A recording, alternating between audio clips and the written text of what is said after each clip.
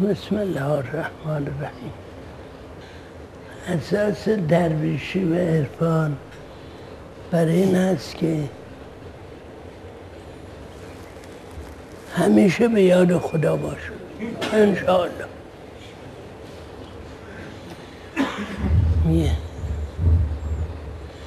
ای بی خبران قافل از اون شاه نباشی. شاید که نگاهی کنند آگاه نباشی.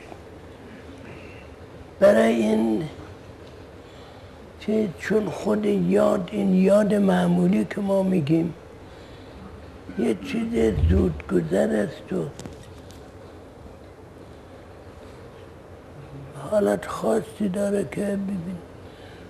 مثلا کتابی خوندیم یادمون میاد که فلان مطلب یا فلان جا هم چیزی یادمون میاد. یعنی یه نقشی که در ذهن ما هست و رفته به آرشیوش بایگانی کلی ما دو مرتبه روز میاریم. این معنی معمولی که ما میگیم فلان کس فلان مطلب فلان کس یادمون بیاد.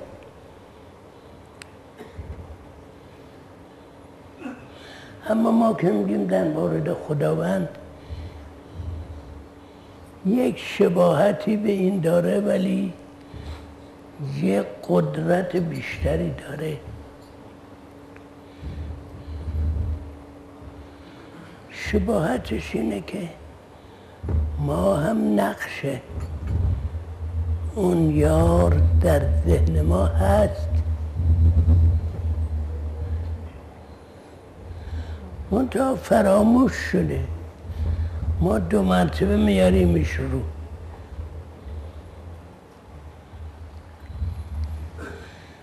نقش یار در ذهن ما چجوری هست؟ کی هست؟ از اول خلقت.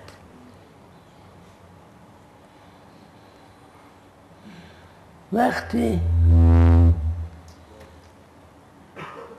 وجود ما وجود ما خواست منعقد بشه و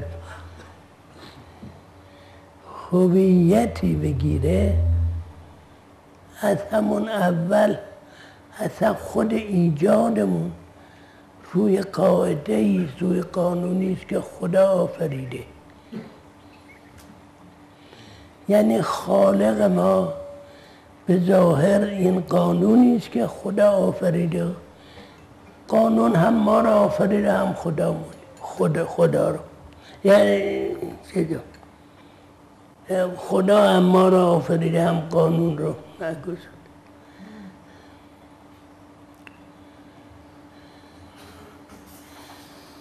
پس ما چیزی رو که در ذهنمون هست بیار میاریم. یعنی در واقع اون شعر حافظه مثل که میگه بودم اون روز من از طایفه دورت کشون که نه از تاک نشان بود و نه از تاک نشان.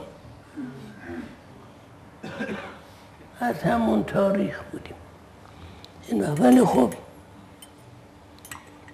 برای فراموشی.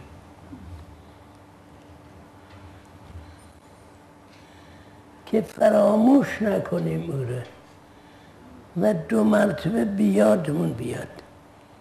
هرچند بیشتر بیادمون بیاد و یادش بکنیم قویتر میشه.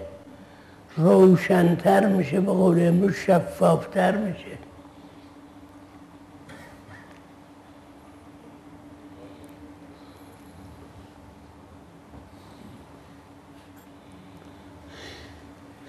خیلی از حالاتی که در عرفای بزرگ بوده و در کتاب ها می‌خونیم و اینا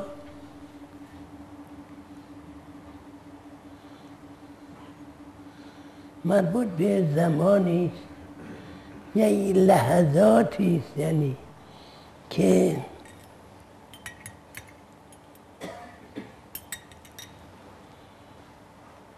ذهن عارف رفته به اول وجودش. همون جوری که شما یادتون میاد از 15 سالگیتون از ده سالگیتون اینا. این ذهنش می‌رفته به اول خلقت خلقت مولکول های بدنش. یعنی محو شده در خلقت جهان شده یه عضویت یه حرفای اون وقت که بعضی ها اسم اسمش کردن شتهیات یا اینا. اون وقت میگه چرخ بر هم زنم غیر مرادم گردد. خب برای اینکه این یاد قوی بشه و همیشگی بشه ذکر قلبی گفتن ذکر زبانی خوبه ولی فایده ذکر زبانی اینه. که بهش مشغول بشیم تا یه مدتی جلو افکار مهاجم رو می‌گیره. شما تسبیح تعداد معینی چیز می‌کنید در اون لحظات افکار خارجی زیاد قدرت ندارن. چرا؟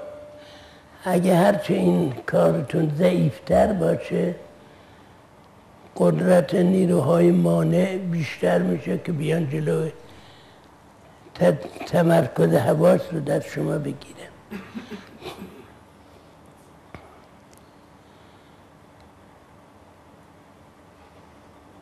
این است که ذکر قلبی چیست؟ ذکر قلبی از اول به اون مخزن فکر انسانی دسترسی پیدا می‌کنه. برای اینکه شما ما وقتی می‌خوایم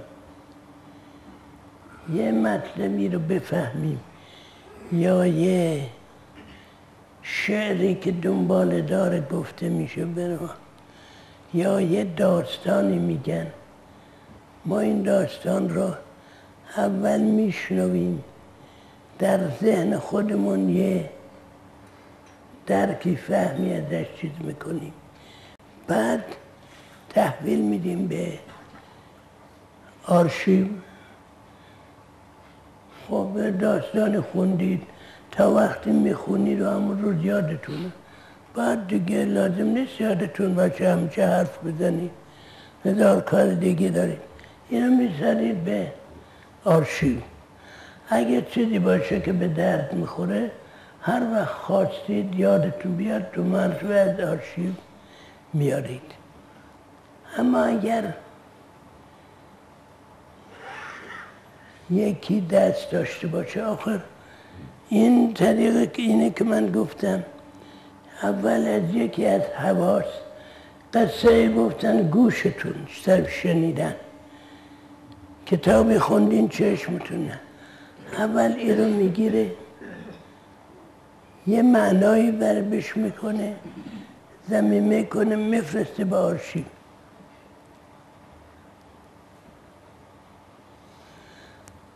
ما در ذکر خداوند اگر ذکرمون واقعی باشه محتاج به این آرشیو نیستیم. اصلا خود آرشیو و محتویاتش و وجود ما و وجود ما. در ید قدرت خداونده محتاج به اون نیست.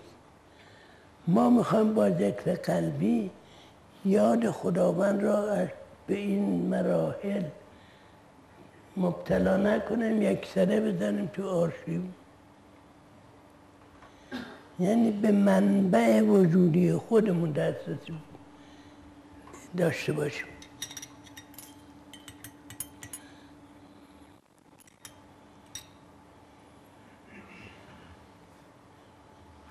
در این مسیر یه به اصطلاح کمککارها و مساعدینی داریم حالا اسمش می‌ذارن فرشته مثلا. اسم لازم نیست. یه چیز کمککارهایی داریم.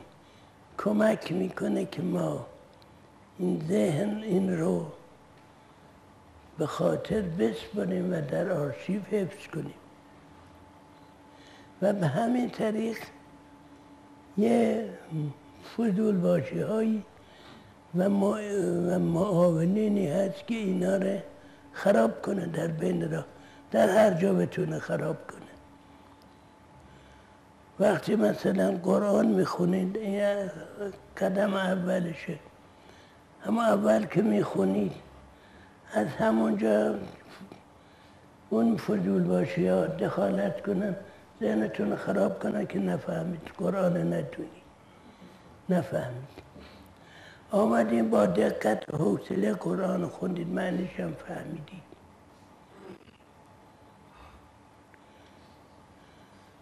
می‌خواد به آرشیو نگه دارید. یه چهار تا قصه که در زندگی عادی دیدید و شنیدید بهش میچسبه. یا اون هدف رو مخدوش می‌کنه. شما مثلا قصه یوسف و اینها رو خوندید می‌خواید جمعش کنید. اون اثری که خداوند از قصه گوی خداوند که قصه گو نیست فیلمساز نیست تئاتری نیست که قصه گفته باشه. یه هدفی داره یه نظر اون هدف رو فراموش میکن همین موانع که گفتم هدف رو مقشوش می‌کنن. که نفهمید منظور چی.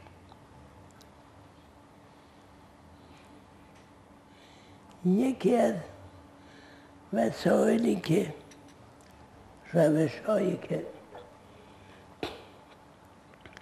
هم ما و اون فرشتگان معاون ما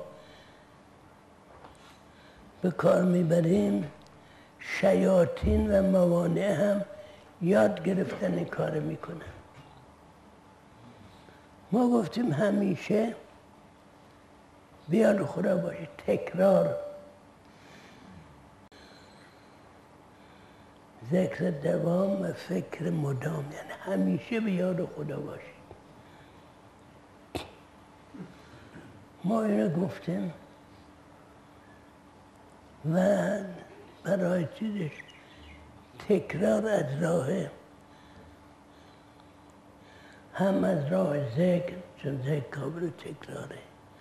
هم از راه ذکر لسانی گفتیم تکرار ماست تکرار موثره بله. حالا که تکرار موثره دشمنان هم هر منظوری دارن تکرار می‌کنن. می‌خوان ما رو گول بزنن.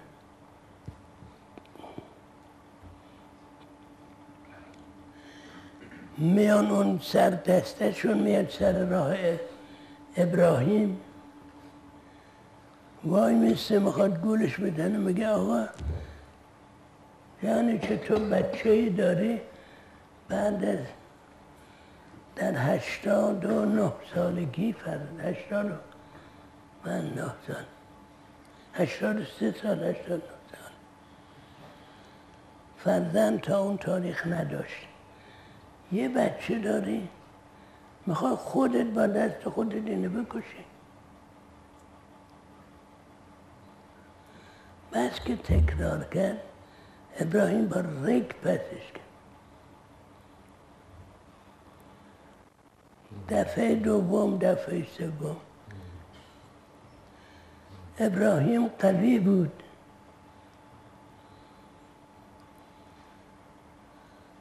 و توانست این کار کنه ولی ما در اثر تکرار این حرف ها گول می‌خوریم. یعنی همون شیطان که می‌خواست ابراهیم گل بزنه به همون تاریخ اگه بیاد مداهم ما بشه خیلی کارش آسون تره ما رو که خیلی ساعت تر میشه گل بزنه تا حضرت ابراهیم. ولی خب او شکار قوی می‌خواد. آمد سرش به سنگ خود رفت. به کارش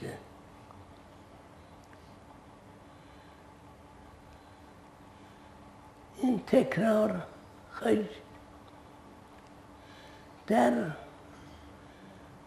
داستان های حضرت موسی علیه السلام نگاه کنید.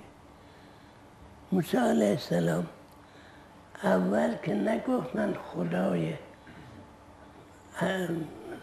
خدای خدایان هستم. می‌گفت منم یکی از این آله خدایان کوچک هستم. به طوری که ملتش قومش وقتی گفتن گفتن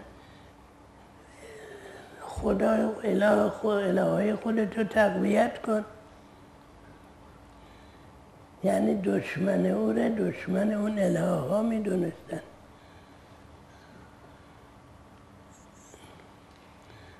فرعون هم در بالا سر خودش یه خدای بزرگتری می‌دید. هی تکرار کردن. این حرف. این تملق که میگن به اون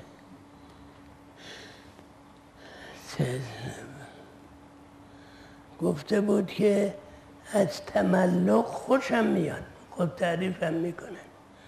از متملق بدم میاد. برای که میدنم حق باده. این خب این آدم راه نجات داره برای اینکه میشه گفت متملق اگه بدش میاد بگو اصلا حرف نزنه. راهش نده. اما اونی که از متملق هم خوشش میاد اون خطرناکه. کسی هم از تملق خوشش میاد هم از متملق خوشش میاد. همینقدر که خوشش بیاد گناه کردی. همین قدم اول لیز خوردنه.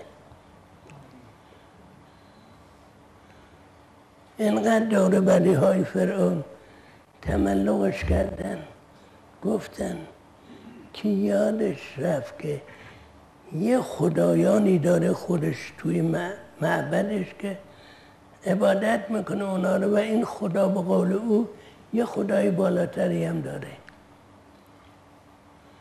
تا اون آخر گفت انا ربکم الاعلا.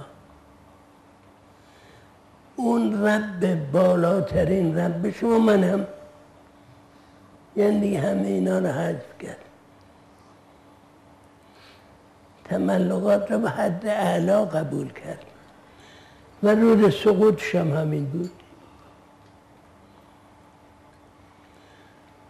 خدا اول گفت به موسی و اون یکی هارون برادرش فرمود که برید و قولا له قولا لینا ملایم باش حرف بزنید. موسی علیه السلام هم که تشریف بود پیشش گفت که می‌خوای من هدایتت کنم؟ اهدیه که اله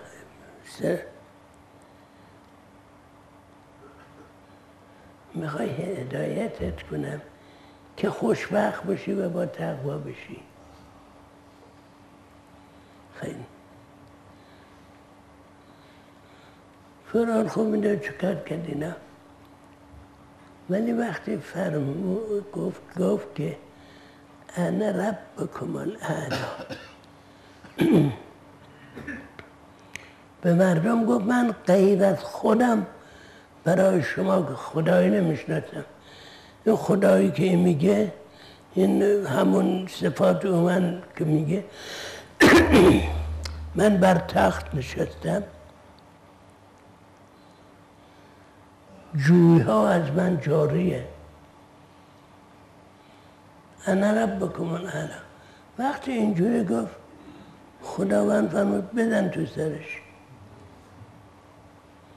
که دیدیم چجوری من دور به همین جهت هم بارها توصیه فرمودند.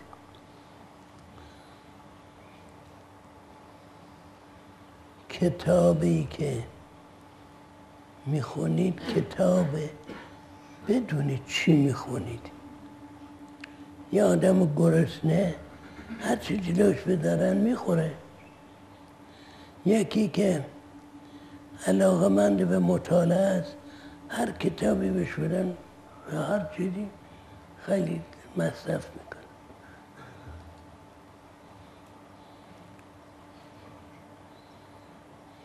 فرمودن بدونید چیه. اما این برا ماست یه کسی که می‌خواد دیگرون را هم کمک کنه اینها ممکنه همه رقم کتاب ها بخونه ولی از اول می‌دونه این کتاب ها رو می‌خونه که دیگرون گول گول گولا نخونه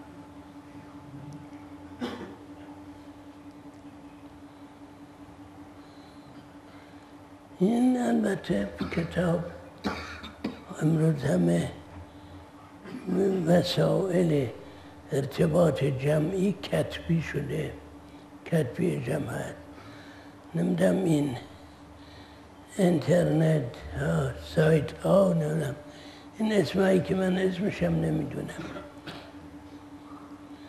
اینا همه کار می‌کنن که همون کار نوشتنی چیزی دادن. ما می‌بینیم خداوند فرمود به شیطان روزی کسی بود مهلتش داره گفت برو. از شش جهت چهار جهت که جلو دست راست پشت سر دست چمی چاره بالا و پایین. اونا هم جهات حساب کرد. فرمود از این جهات به این مر... به آدم حمله کن. چجوری با کی؟ با رج و شاره کن و رجل هم با از سواران خودت. قشون سواره لشکر سواره خودت. همه در جان و مال و همه چیز اینا فضولی کن شرکت کن با این قدرت که خدا به شیطان داده ما بیچاره کرد. ولی خب باید بدونیم. راه ها را نشون داده. خودش فرموده که برید خیلی خوب. ولی من نخی یه سل تنابی توی شما میگسترانم هر که به اون متوسل بشه من کمکش می‌کنم.